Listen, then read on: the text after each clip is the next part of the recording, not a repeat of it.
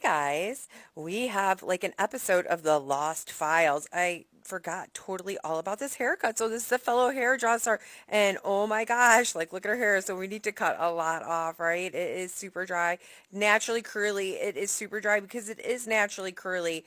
Um, a lot of naturally curly hair is generally pretty dry. So she has cut some thick hair and I, I wish I could have done a Malibu on her to remove some buildup as well. But she really wanted me to cut a lot of hair off because it really, really needed it. And like the back of her hair was so bulky. Oh my god gosh. So she did want some like kind of like a stacked bob. She wanted kind of like chip choppy, but it's kind of hard to get chip choppy when your hair is so thick, but I really wanted to give her that angle forward. So I wanted to centralize everything to her stationary guide that was positioned in the back center of her head.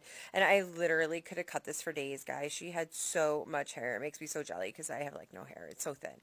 So I'm just going to connect the uh, back section into the front section, just going ahead and tip cutting this in. And this is not hair. I like really cut straight because it will just show every cut mark for the most part. Now here I go and then cut straight. But it just depends on how I feel about something when I touch it. And if I cut it straight, me, I am like not like this crazy precision cutter. I am much more a sculptor when I cut hair. So I am like literally, you'll see my fingers run through in sculpting. So here I'm going in with my notching shears and just removing more bulk. Like literally, I could never not take enough bulk out of this girl's hair. She has such thick hair. You're going to see me go into it dry here in just a second. So I'm going to miraculously, ba-bam, blow dry her hair. And so I'm just going to go in and lighten up the front. And now guys, I am using my Hikari shears. And remember, I am not this fast I'm speeding all this up. I'm going in and notching it out again for like the 30th time. This girl's hair is so thick. So you guys see that line right there? It's driving me crazy.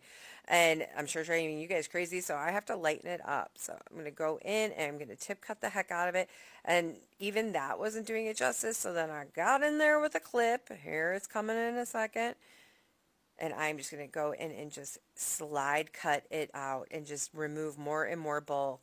Yeah, I'm using like the sharpest shears in the world, Hikari scissors. They are amazing. I just actually splurged and gave myself a little special present from the hair show here in Chicago. And I got the most expensive shears I could in my entire life. And I cannot wait to cut hair with them. So I am curling her hair with my Babyliss Pro iron. Just give her a little bit of bend. And here's the finale, guys. It came out so beautiful. I absolutely love it. I did not do her color. It's her color. She needs to do it again. And actually just got it done. So guys, again, thanks for watching, and the link is in the bio. Hey guys, and if you liked that video, don't forget to check out this one. And don't forget to like, share, and subscribe. And don't forget to hit the ding dong.